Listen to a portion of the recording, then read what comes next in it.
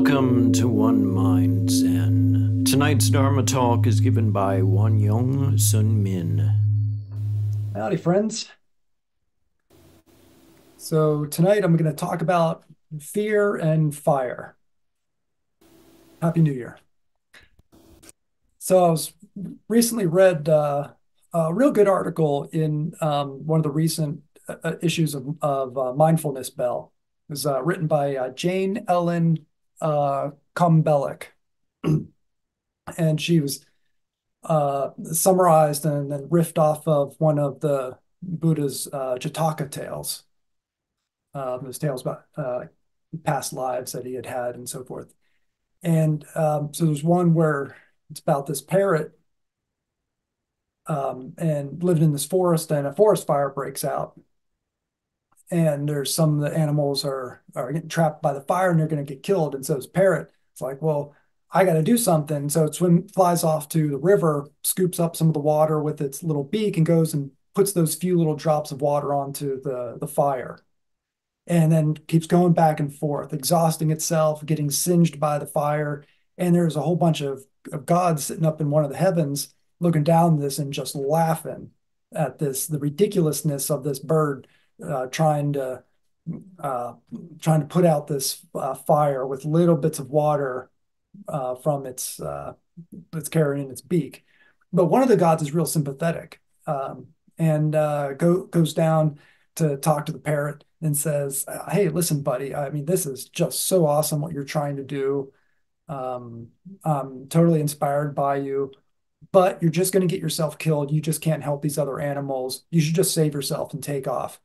And the parrot says, says, listen, buddy, I don't need any advice from you. What I need is your help and the God was so moved by this that he uh, he just started bawling, and the tears came down and doused all the flames and uh, saved the critters. Um, and so, of course, I'm sure y'all, as soon as I start talking about fire in a Buddhist context, you're all immediately thinking, okay, we're talking about craving, because of course, you know, Siddhartha used the image of fire for uh, craving, since uh, you know that's surely one of the earliest teachings or images that he that he offered people. Um, and here, this idea of of helping to extinguish all the flames, you know, this side an, an image of helping others to extinguish their craving. In other words, nirvana, right? Um, but of course, today we got with um, you know driven by climate change. I mean, we've got like the world like literally on fire, right? Um, I mean, things you know got a bunch of rain and snow this last year out west in the U.S., so it's not too bad now. But you know, the the West has just been terrible. Um, Australia, um, Greece, like um, Syria and Israel had uh, this last year had uh, a bunch of terrible forest fires and so of course this thing what can i do with my my little beak picking up these tiny uh tiny little bit of, of water? But of course there's 8 billion of us. That's a lot of beaks. That's a lot of water. Really we've got plenty of um of of water collectively to extinguish the um the the, the cravings that um that contribute to to climate change. Uh but uh, one of Combelic's main points in that article was to actually was getting us to look at and engage the fears that we experience.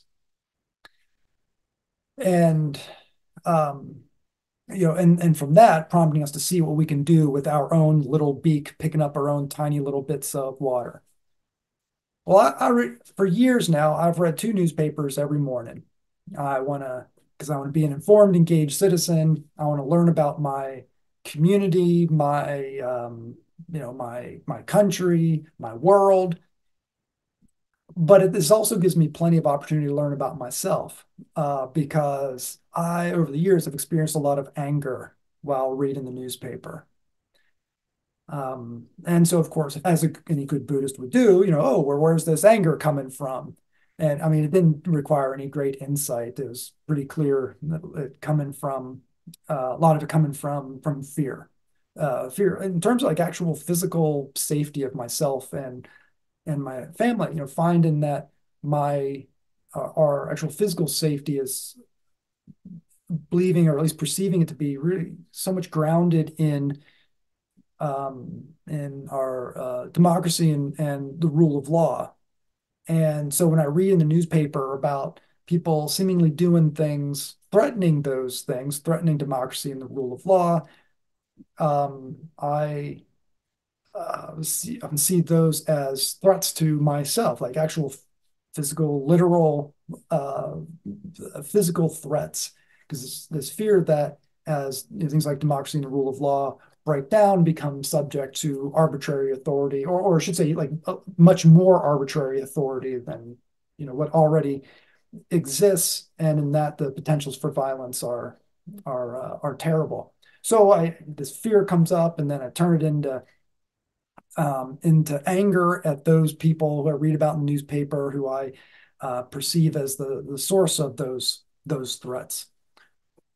Well, reading about uh, uh, fear in a political context uh, recently, and there's a psychologist who was talking about talking about one of a common uh, fear reaction that people have is to then when you get serious the fear is to want to retreat into a group of folks who you perceive as being uh, like yourself.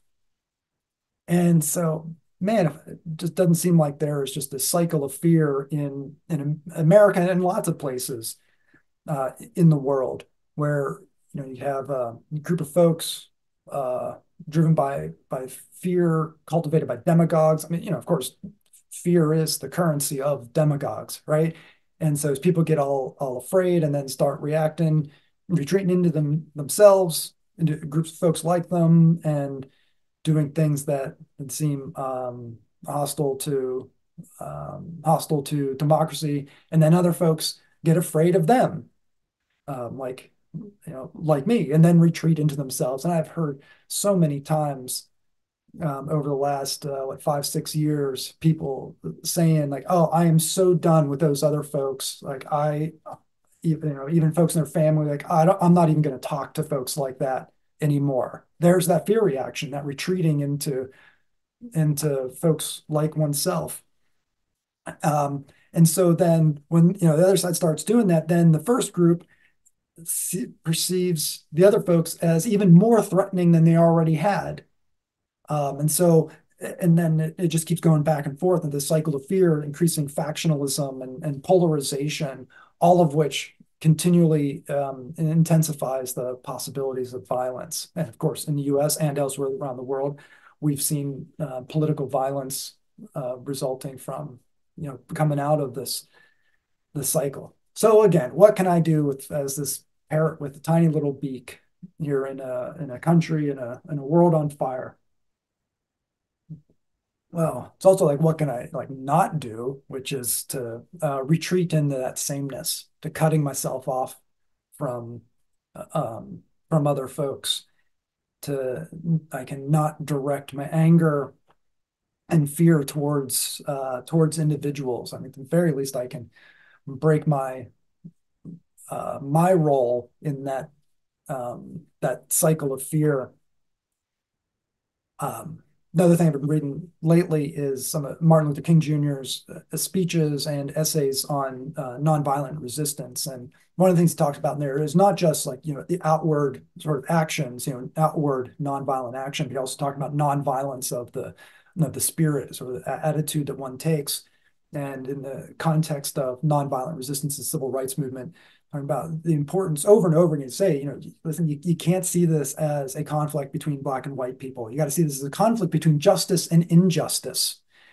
Because the goal is not to, you know, beat the other side, but is, you know, quote, redemption and reconciliation. Uh, quote, the creation of a beloved community. That in the end, what comes out of uh, their nonviolent struggle is, you know, looking for a community, but that drawing that drawing everybody together into a single uh, beloved uh, community. And he urged folks to see that the one supposed opponents as also victims of that same system that they were um, uh, victims of, to therefore not to seek to humiliate or um, or seek revenge on those other other folks, but instead to um, gain uh, friendship and understanding of them and, and with them to cultivate them as as allies in in seeking justice. So in the context that I've been talking about here for myself, it means that that security, that safety, those those universal needs, um, achieving those for all people, not just for you know my supposed uh, team. That and then you think about that that you get that fear reaction, that retreating into um, into sameness. I mean, that is an othering, right? It's pulling up this boundary. There's uh, self and other. There's my group and, and their group. And this is an example of what King referred to as a violence of the spirit. Real early on, we started um, studying with uh, with my teacher Andre. He uh, and some of you might um, might remember this as well. We'd often talk about how his role as a as a teacher, Zen teacher, was not to give students anything, but to take it all away. And so here, what do I got to give up? You know, give up my anger, my fear, give enemies. What do I? And then instead take up uh, metta, loving kindness, loving friendliness, whatever you want to call it. And so, in doing that with just my little beak, um, picking up those drops of water and dousing the flames of my own cravings and, and fears breaking my part in that um in that cycle of fear. You know and in the end i mean that that's sort of that non-violence of the spirit i think is the thing that's going to be more likely to produce or be more effective in um, uh, in producing the security and, and safety that, that this universal needs that we all have, much more so than um, than fear and and uh, the politics of domination.